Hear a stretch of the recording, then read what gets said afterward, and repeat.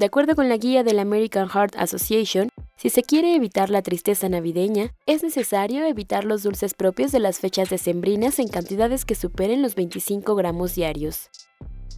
Un estudio publicado en la revista Medical Hypothesis y retomado por Europa Press precisó que los azúcares en alimentos de la Navidad y Año Nuevo pueden ocasionar procesos metabólicos, inflamatorios y neurobiológicos relacionados con enfermedades depresivas.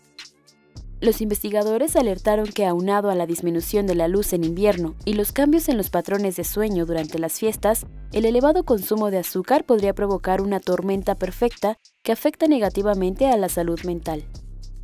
El profesor asociado de Psicología Clínica de la Universidad de Kansas, Stephen Ilardi, explicó que en gran número de personas, la exposición reducida a la luz solar durante el invierno alterará los ritmos circadianos, que son los intervalos biológicos regulares de tiempo asociados a un cambio ambiental cíclico, interrumpirá el sueño saludable y detonará una depresión clínica a entre 5 y 10% de la población.